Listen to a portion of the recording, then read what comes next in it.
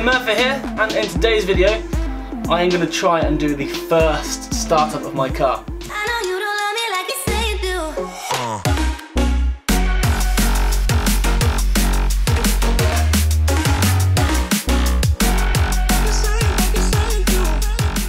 So off camera, what have I done? Well, I've extended the wiring from the starter side over in this inner wing around to the starter motor. I've connected up all the connections into the engine bay. Positives to the coil, negatives to the coil, uh, positive and a negative on the distributor. And uh, all that's left for me now to do is to get it fired up. I've also taken the dashpot off and put some fuel in there. So uh, fingers crossed we're going to get going today. Let's do this. Okay. Here goes.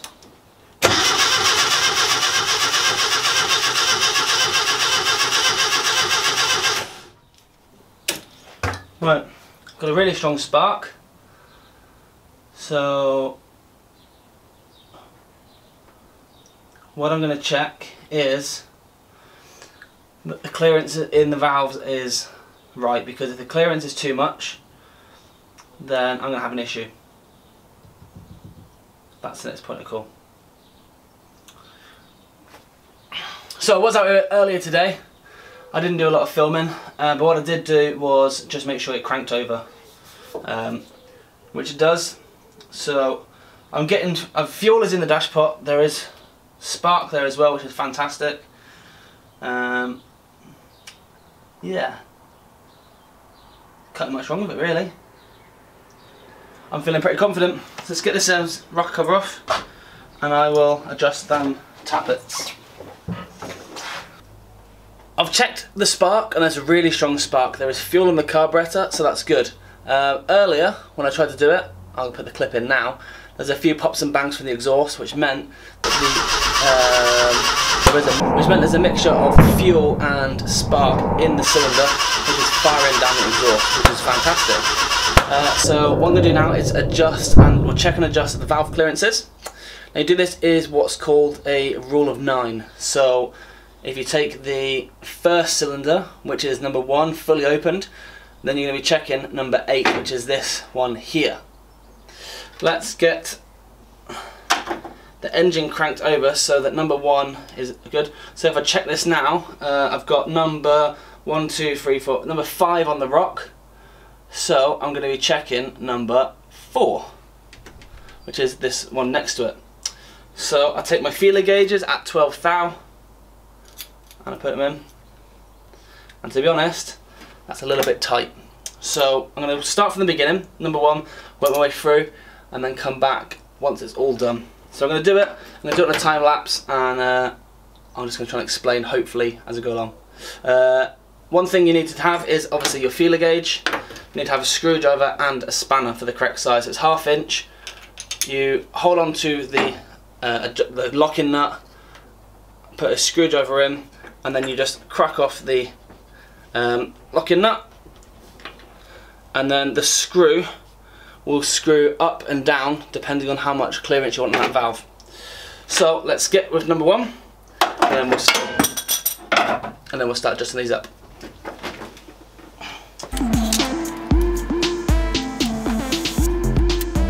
Number one is fully open. So I'm going to set the clearance on number 8. So they're numbered 1, 2, 3, 4, 5, 6, 7, 8 to make it nice and easy for you to remember. So let's loosen that nut off. Clumsy.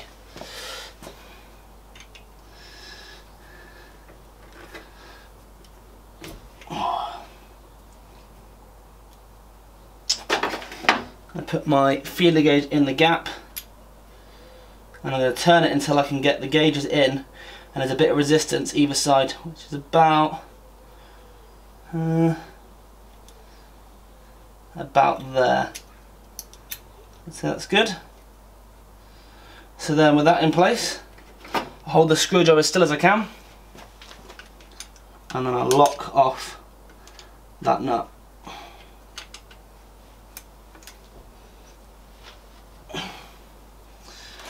just double check it once it's done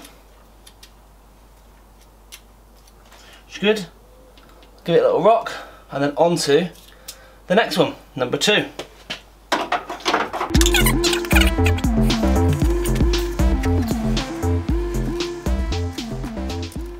So two is at the top of the rock, just seven. So I'm going to put it into time lapse now.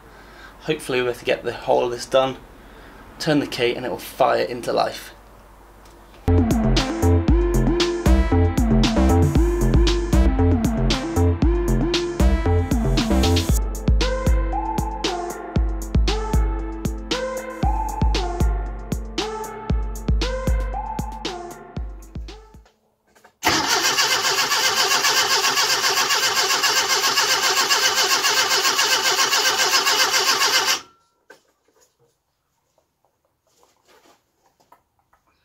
I've just done a few tests, so I've adjusted and amended the, or checked and adjusted the tappets.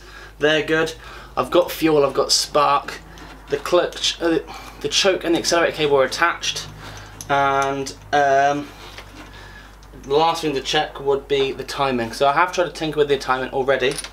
Uh, it's just been popping and banging. So what I've just done is I put the screwdriver down into the bores to see where the piston was. Now the piston was up on two and three and in theory the rotor was pointing towards number four so I've just amended the um, HT leads and hopefully we'll get a bit more life.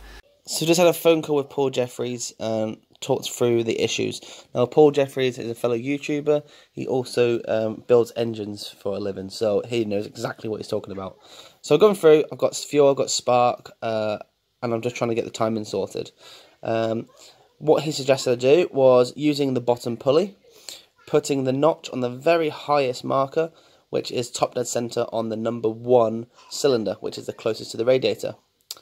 Uh, with that on top dead center, I can then um, make sure that the rotor arm is pointing to the right. So I'm just checking the rocking is right. So the rotor arm should be pointing around 2 o'clock. Now the issue I had with the rotor arm was pointing directly down. So that's obviously not right. The issue I have is now that the drive for the distributor is 180 degrees out. So I pulled the distributor out. I rotated the um, the drive. I pushed it back in. The distributor cap's all back on now, and it's all timed up to number one cylinder and it should, in theory, fire. He's pretty confident. I'm feeling a lot more confident. So the only thing to do now, really, is cross my fingers and hope that this is going to start up. Oh, so I feel like I'm having deja vu a little bit. But I'll explain again. So, I've adjusted the tappets again. Um, there is fuel, there's spark. The timing is now correct. So it should hopefully cough and splutter into life. Bit of a tweak on the distributor, and we should be onto uh, the winner. It won't run for long, there's not a lot of fuel in the carb. But uh, what we have got will be enough to make sure the engine obviously runs. The compression is spot on, so I haven't got any issues there. Let's do it.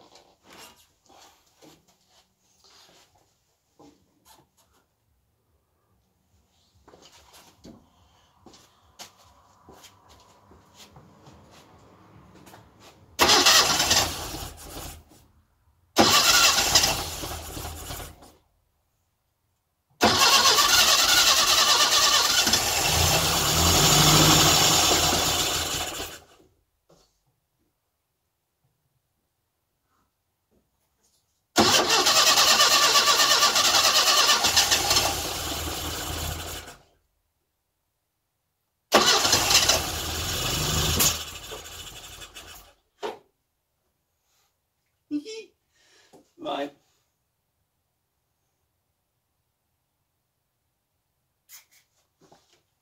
Let's give that a bit of a nip up.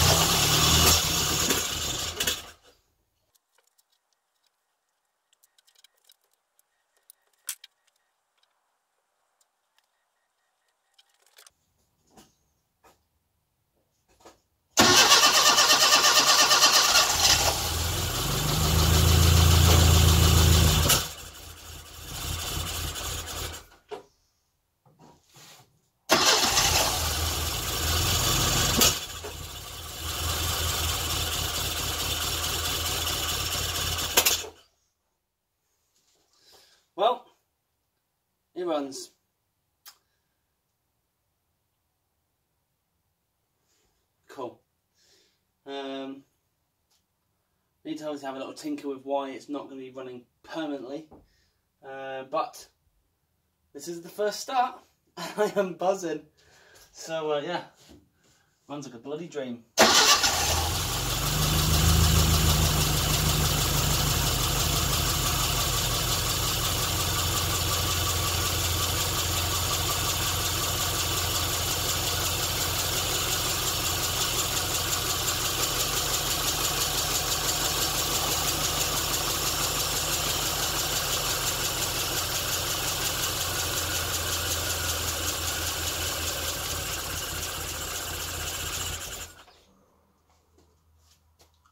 That is now out of fuel. Fantastic, good. Happy days, come on Will.